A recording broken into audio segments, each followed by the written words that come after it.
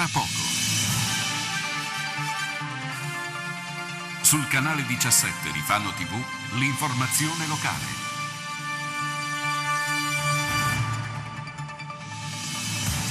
Ruba una bici elettrica, arrestato un clandestino. Semafori spenti, i 5 Stelle rifanno i conti all'assessore. Atti vandalici nel parco pubblico, residenti allarmati. Per la raccolta delle olive si pronuncia un anno orribile.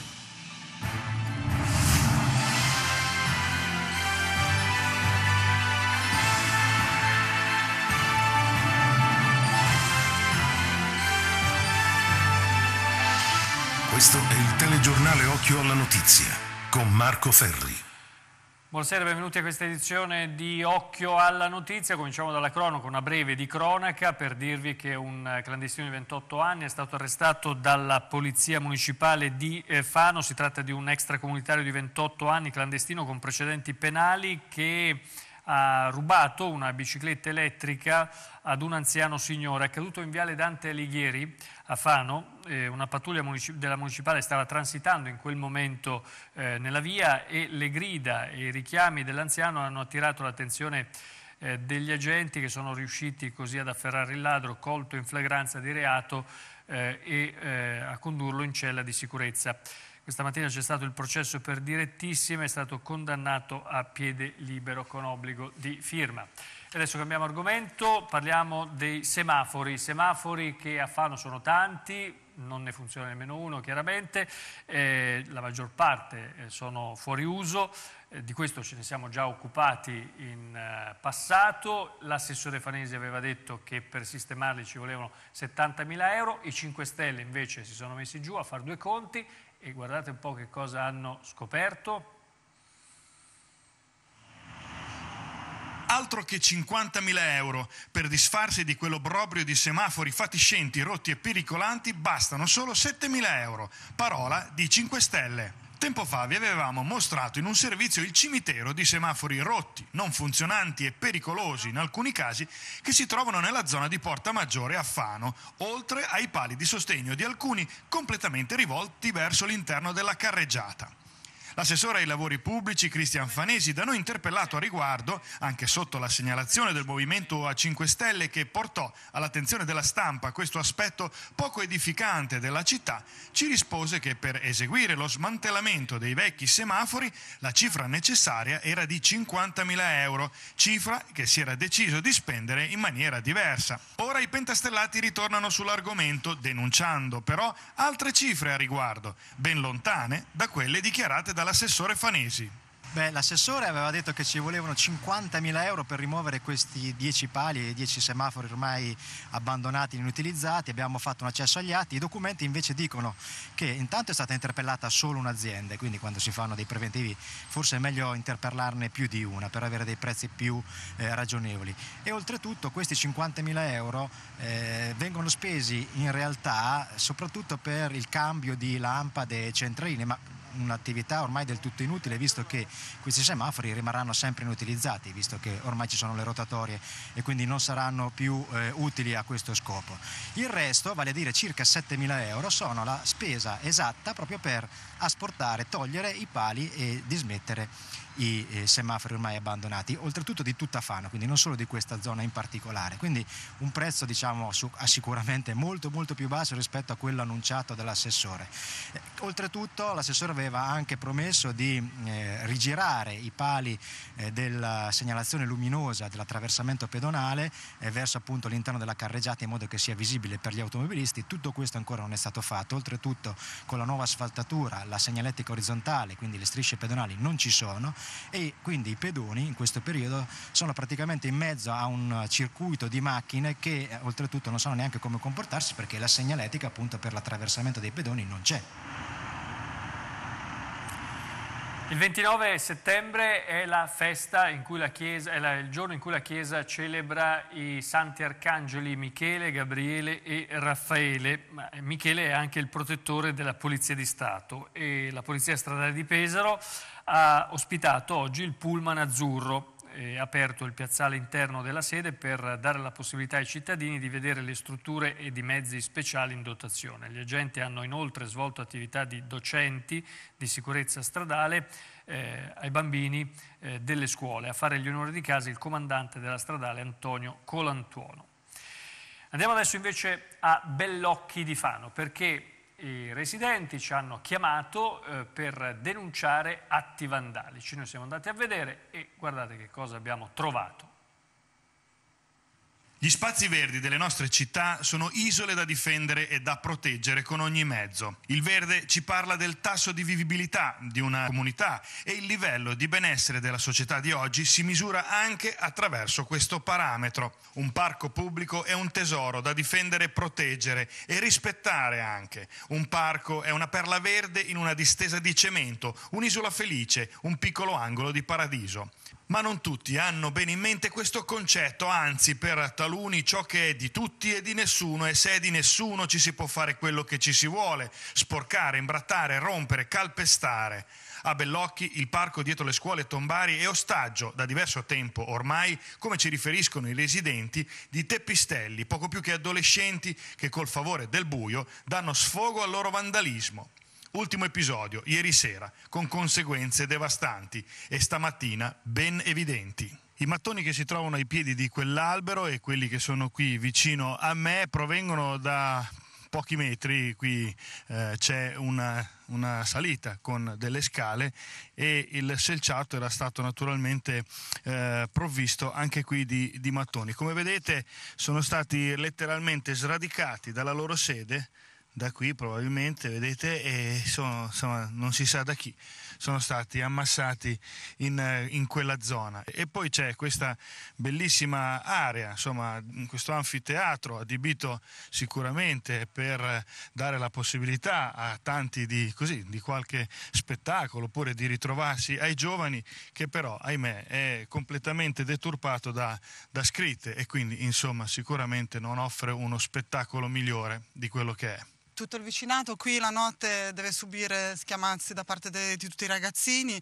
rispondono anche in modo molto arrogante, mangiano le cose nella panchina, a tre metri c'è il cestino, buttano tutto a terra. E questa è stata la sorpresa di stanotte, ieri pomeriggio eravamo qui al parco, era tutto intatto e oggi abbiamo ritrovato tutto fuori... Mm, volgarità scritte dappertutto, insomma basta, non se ne può più. Eh. Avete avvertito anche le forze dell'ordine? Sì, stamattina io ho chiamato i carabinieri e I vigili l'avevo già contattati un po' di tempo fa per mettere almeno una telecamera di sorveglianza, ma avevano detto che le spese erano troppo alte. Ma dato tutti i danni, hanno sfasciato diverse volte anche quella parte lì del marmo e sono venuti a riaggiustarlo. Dato tutti i danni, mi sa che una telecamera forse conveniva. Non è purtroppo l'unico episodio di questo tenore in questo spazio verde, anzi in passato alcuni giochi di legno per bambini sono stati rimossi perché resi inutilizzabili per eh, gli atti distruttivi e le scorribande di questi gruppetti. Rompere un bene comune non è solo un atto di inciviltà e di menefreghismo, è una sconfitta morale per chi lo compie. Dopo Bellocchi siamo andati eh, con le nostre telecamere nel quartiere Poderino perché un altro segnalatore eh, ci ha telefonato per, eh, per, dirci che ci sono dei cassonetti eh, dell'isola ecologica che praticamente straboccano ormai di rifiuti, sono dieci giorni, così almeno ci riferisce il segnalatore, che non vengono svuotati. Dopo aver parlato della vendemmia eh, e quindi dell'uva si preannuncia un anno straordinario per il vino, sarà un'annata record eh, anche dal punto di vista della qualità, purtroppo eh, non è così eh, per quanto riguarda l'olio e quindi l'oliva. Se chi produce vino quest'anno intona canti di giubilo per la splendida annata che si prospetta per i nostri vini, dato il clima che c'è stato nei mesi estivi, lo stesso clima fa piangere lacrime amare a chi invece in questi giorni sta raccogliendo, sempre che abbia deciso di farlo, le olive. Il flagello della mosca olearia anche quest'anno si è abbattuto sui nostri uliveti, da nord a sud, nessuno escluso. Beh, diciamo la situazione è una situazione drammatica. Drammatica nel senso che come nel 2014, il 2016 sarà eh, quello che come viene definito l'anno horribilis, nel senso ci sono state tutte le condizioni eh, ideali per lo sviluppo della mosca olearia, che è il nostro maggiore nemico per la qualità dell'olio. Che cosa intendo? Intendo che quando abbiamo inverni caldi e estati freschi, la mosca olearia che è presente nel nostro territorio ha una, una riproduzione che se raggiunge determinati livelli può compromettere, può compromettere eh, la produzione di olio extravergine di, di qualità. Questa è la mosca delle olive ed è la responsabile appunto, questa è una mosca femmi, femmina, Qua la vediamo nel momento in cui va a deporre e qui la vediamo per riuscire a capire la dimensione, però è, è drammatica ovviamente per eh, chi produce eh, olio. Gli agricoltori professionali e nella nostra provincia ci sono tanti agricoltori professionali, hanno un monitoraggio, sappiamo che questo è il nostro problema. E ora effettuiamo un monitoraggio che inizia da, dal mese di maggio fino ad arrivare a, a, ai giorni prima del raccolto con delle trappole sessuali. Ci saranno solamente, a mio avviso, due ripercussioni. Uno probabilmente sarà il prezzo. In queste condizioni è ovvio che, perché non è un problema, attenzione, pesarese o marchigiano, è un problema italiano, ma seconda cosa, quando il prezzo aumenta e quando c'è una carenza di prodotto nazionale, le importazioni aumentano all'ennesima potenza. Consumare olio di qualità è l'operazione più salutare che possiamo fare quotidianamente, quindi non solo come aspetto gastronomico, ma anche neutraceutico, viste le proprietà antiossidanti dell'olio. E questo concetto all'estero lo conoscono molto bene, dato che l'olio made in Italy è tra i più consumati al mondo. L'olio è un'eccellenza marchigiana, italiana e mondiale. Di fatto eh, riusciamo a produrre eh, anche qui con le nostre produzioni produzioni biologiche o non convenzionali, con le tante tipicità e distintività del nostro olio, riusciamo all'estero a eh, portare tanti prodotti. È chiaro che dobbiamo stare attenti a consumare olio italiano, prodotti italiani, guardiamo l'etichetta, compriamo Made in Italy perché sicuramente eh, riusciremo a mangiare meglio eh, sia noi che i nostri figli. Per gli appassionati di Dante e non solo, domenica prossima, 2 ottobre, nella splendida cornice della Pinacoteca San Domenico a Fano, si tiene un evento culturale promossa dall'Accademia eh, Vitruvio Fano. Nel mezzo del cammin di nostra vita mi ritrovai per una selva oscura che la diritta via era smarrita. Allora, un modo un po' diverso, particolare per affrontare insomma, una eh, lettura e una interpretazione un, insomma, del sommo poeta di Dante. Sì, questa nostra iniziativa, l'iniziativa dell'Accademia Vitruvio di Fano, eh, si svolgerà domenica 2 ottobre mm, in un ambiente direi magico, quale è quello della Pinacoteca San, San Domenico alle ore 17.30 del pomeriggio.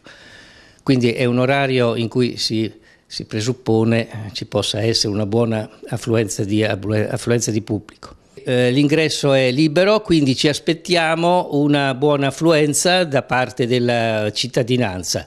È una serata in cui insieme eh, gli organizzatori della, della, Vitruvio e i cittadini di, di Fano potranno, potranno godere della, della grande poesia eh, di Dante. E color cui tu fai cotanto mesti, allor si mosse.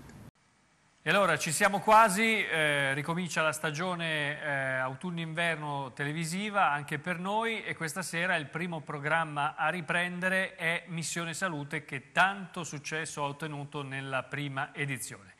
In studio vedo almeno nel monitor di servizio Lino Balestra. Buonasera Lino. Allora, eh, sono, qual è il tema della serata e chi sono i tuoi ospiti?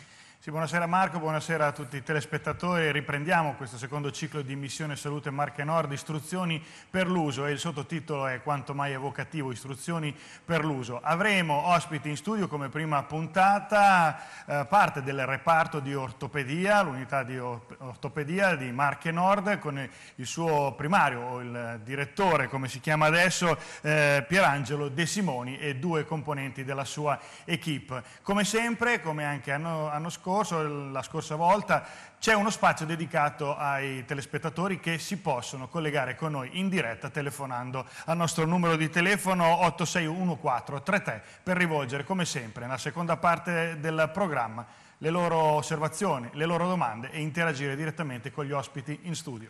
Bene, allora ci vediamo tra poco, grazie per aver seguito il nostro telegiornale, l'appuntamento con l'informazione su Fano TV torna domani mattina alle 7.30 in diretta per la rassegna stampa Occhio ai giornali. A voi tutti l'augurio di una buona serata, arrivederci.